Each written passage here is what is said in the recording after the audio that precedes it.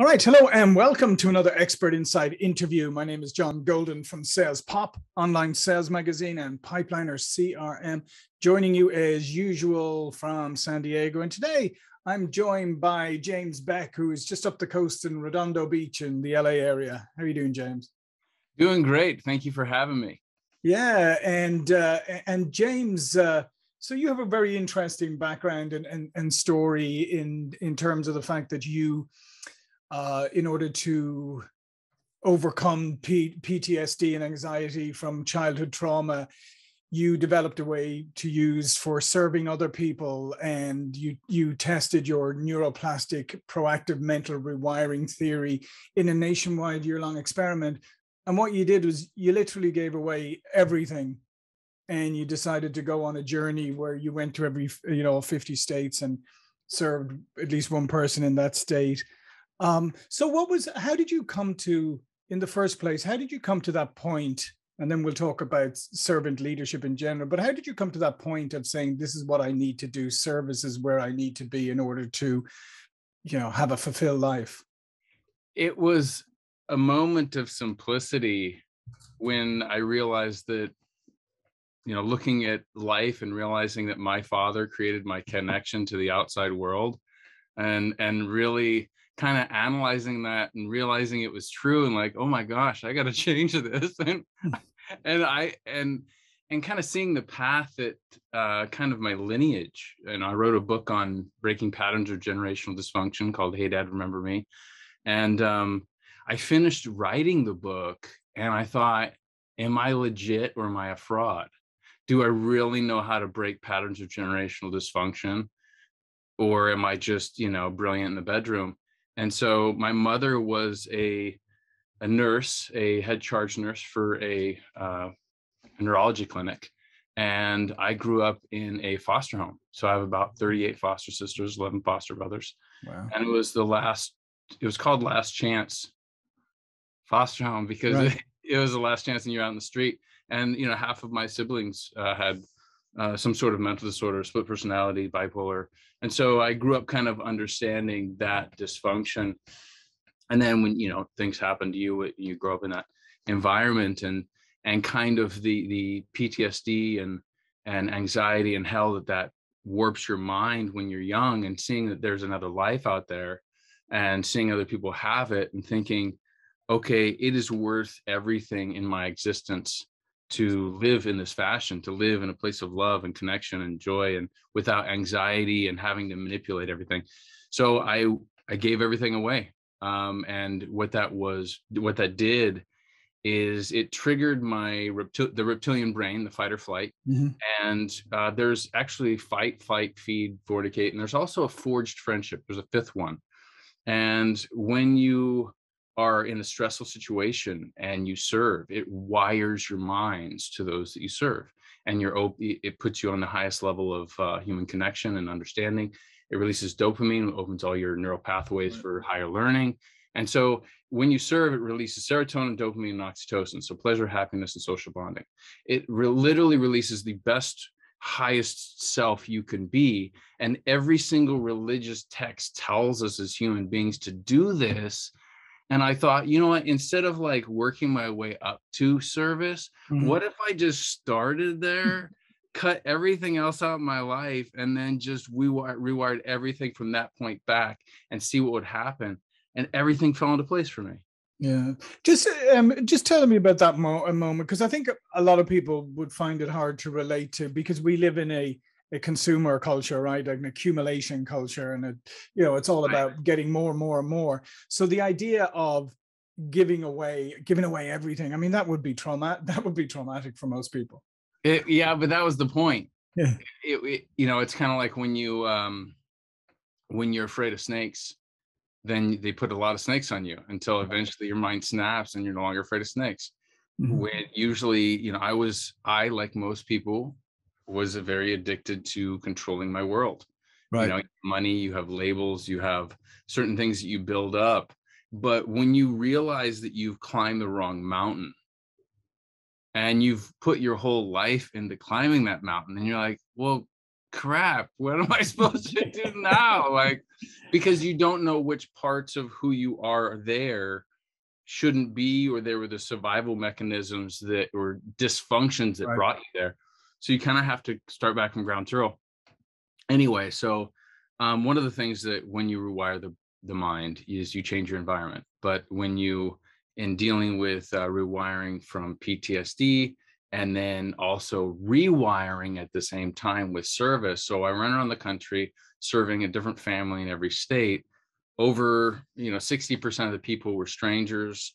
So, you know, some of the people were friends, you know, from different times in my life. But um, yeah, I wanted to rewire my brain by living in a constant state of giving. Just like when a person goes to rehab, it takes about right. six months.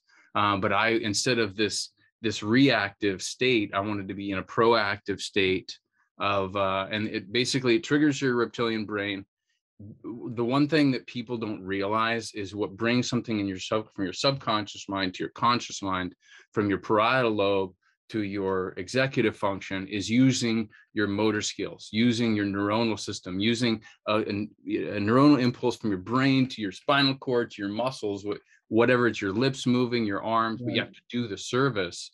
So then doing it puts you in your executive function, but then by living in a state of service, then it rewires it to your limbic brain, your intuition, so you get more of a connection of like how we're supposed to be. And so that's fascinating. And then, so you have you have since that obviously worked with people, organizations, and that to really help uh, with the concept of servant leadership. Um, obviously, the concept of leadership, eh, you know, generally, I think people see it as you know the person at the top directing and leading and forging forward. Um, they don't tend to talk as much about the the servant element or the service element of it. Yeah, yeah. Well, serving first, wanting to serve first, and wanting to serve the most, and trying to serve the most, and and getting a, an inner joy about serving the most. That is the key to everything. And not not doing it because you have to doing it because you and that was the key for me when i gave away everything i owned and went around the country. Was i scared? Did it scare me to death? Yes i chewed up the insides of my cheeks and it was like i dropped down to 165 pounds terrified with people like oh that's so zen i'm like i'm trying to get there man i'm not there um, but, yeah. So how do you so so how do you help translate that to people in in leadership positions? Because I, I think I mean I even think the idea of service or servant leadership within a corporation is something that the people as i said struggle with because they don't really know where to start or how to manifest that mm. well first of all that is actually one of the things that i teach i'm beta mm-hmm. testing uh, a program for with uh, I have five slots. I'm working with ASU's innovation team, uh, and then I have four extra slots that I'm filling with the beta test. But there's a way that you can leverage service. Like I said, it mm-hmm. releases mm. serotonin, dopamine, oxytocin. Yep. So you can both engage new teams, you can in, enliven and optimize old teams, and then at the same time, you can heal um, uh, teams that have just experienced a toxic environment from a, a, leader that was or a person that was inappropriate or or mean or what whatever they did to damage but with service it's this it's what the military the reason why the military can take a human life mm-hmm. and still hold their head high in honor why it's because in service to their country so there's a level of uh, you know everything is product and service but how does it work with the human mind the way you do it and the way that I, I, I teach it, but it's it, you know the thing is, is anyone can do it. Mm-hmm. What do you what do you focus on? And the key is, in Eckhart Tolle talks about the observational human, to where you know whenever you're having some sort of anxiety or difficult situation, you know, breathing and observe those yep. emotions. You can take it into a step further. That you know, the highest form of religion they talk about yogis and Christians and Jews and Muslims and Hindus service. Yeah. So if you serve and you're you're in that state to where you're you're giving your life in that state, it, it kind of creates an observational human being in yourself. So then when you're not no longer in that state of service and you're just living your own life, you go from uh, juxtaposing both your highest self, which you learn from the state of service, and then also your fight or flight reptilian, your survival self, which you are by the, the world programs you. So you, you're able to make better decisions by sometimes you do have to be a good steward and take care of yourself, but sometimes you do grow and that gives you the mindset to grow. Yeah, and it's something interesting that you just mentioned there is um, becoming an observational, you know, human being, and I just think that that's a in the culture we live in today. It's it's people don't take a step back and observe. They they they're always in things, or things are happening, or they're distracted. And actually, becoming more observational, I think, is something that everybody needs to work on because we've I think we've lost that art. I think you know instead of so much uh, an attention deficit disorder, it's more of an intention deficit disorder. There's right. a lack of intention even with the food we eat, the the time we spend, that we're going through life and worrying about things that and a lot of times don't really matter and then overseeing things that truly do matter so how do you how do you take that step back to where your that your partner your spouse is is happy with your commitment and your marriage mm-hmm. your partnership whatever you know your kids are happy your you, if you have them and your relationships your friends your job you know things are moving forward. But like if you don't take the time to eh, self evaluate and and realize maybe the times where i was you know and the worst thing for me is climbing the wrong mountain. Mm. i was successful. I won. That was my problem is i got to the top and i'm like oh no. This, this is what I was working for. I was a managing partner of a post-surgical recovery facility in Beverly Hills. I worked with all the mm. top plastic, orthopedic, and right. surgeons. I was uh, also the um, manual therapist for NBC's The Biggest Loser. So I, I currently, uh, with a, a I, I've I've gotten into where I've done more public speaking and workshops on teaching how to transform corporate cultures into a cooperative community by using service, and that's at you know givebeck.com but before then i created continuing education for osteopaths chiropractors continuing edu- uh, pts massage therapists and just advanced protocols. I worked for the biggest loser american mm-hmm. gladiators the medical teams teaching self-care like working on how to you know push the envelope and balancing the body work professional athletes. So that's my background. So balancing the body balancing the mind balancing the spirit um, but kind of connecting it back to the beginning you know i was kind of figuring out with my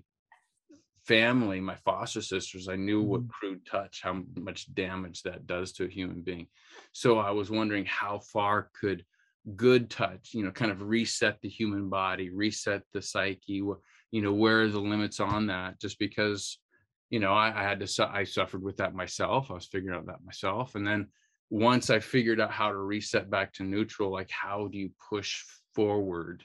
And then what could be a path that others could take? And that was the critical point is when I realized that all the things in my life were about me. And if I truly knew how to rewire the human mind and remove PTSD anxiety and can give that to other people and do it in a way that was what free right and it helped everyone and then i'm like oh but it's what all it all it's gonna cost me is everything. Oh. That's it. You know, it's like, and do you believe or are you just crazy? Because then I had to think, am I nuts? Because anyone could do this, but I have to. Mm-hmm. So then anyway, I did it and now I teach uh yeah, I consult the you know March Air Force Base. So I was helping the California National Guard address the uh, suicide uh, epidemic and with their soldiers. I also work with uh, SJCOE, the San Joaquin Valley of Office of Education, with their at-risk youth and uh, leadership and um, the homeless leadership and veterans. Um, you know, just how to stir hope with people that are suicidal. So, been able to like use what all those things that were taught how to serve, but kind of like for me, what it was like I started at a very like helping extremely dysfunctional people, but not mm-hmm. everyone needs that level. Yeah. yeah. Hmm. So I kind of like with the with what I consult with, I kind of have like the repatterning, which is if it's at-risk youth or suicidal people with soldiers with things that are extremely Sure. which is a different level couple Mhm. extra same material a couple extra things um, and then there's rewiring which is just human capital optimization how do you optimize get a group to work together better. And and because there's also trauma that kind of correlates that every company faces. And what they don't really realize is that people die. Yeah. spouses die kids die parents die um, marriages end you know and you have tragedies that happen. And so you have key people that are going through life and then boom they get hit. How are you going to prepare how do you what do you have in place for, with your human capital to get things going to where you know what the ROI investment on those people are and how many days a week and what that looks like going down the road moving forward? And you're not just getting off the high horse executive uh you know and saying oh by the way i've never talked to you but i heard something bad happen by the way it sucks uh, you know somehow Yeah. come back and make money for us one day soon like that's kind of like what they're at or even with this with the senior with the military leadership you know? But like if you can look at a history of service and connection and then connect the people with they already have the relationships with a little more time then they you they can pour into that then those people and those relationships can move forward and then you have people that are more loyal to you and give more time and energy and love to fulfill your mission because you poured back into their heart and that's kind of how servant leadership works Yeah, and and I guess I mean at the at the root of all of that is there has to be some. I mean, there has to be authenticity, but you probably have to do a little bit of self reflection yourself before you embark on this. Because to your point, because otherwise you could come off um, a little bit strange. You do. And one of the things that's really nice is when you do film yourself, when you do have that observational element. And that's one of the great things that's happened in culture is because we're all realizing that we can be filmed and we are being filmed.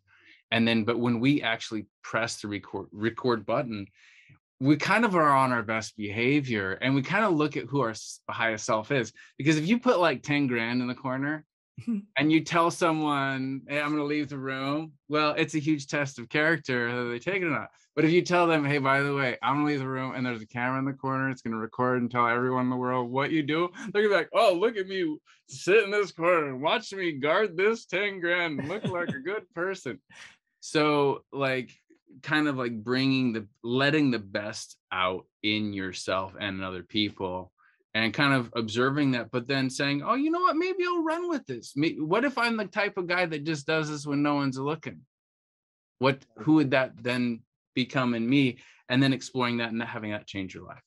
Yeah, no, I think that's such a fascinating point there um, about us being uh, yeah showing up as our best as our best self because we know we're on camera, and I guess the, we have to change all those old adages now. It's like uh, how it's like you should act like you're on camera instead of like how do you act when you know nobody's around. Like how do you act when there's no camera?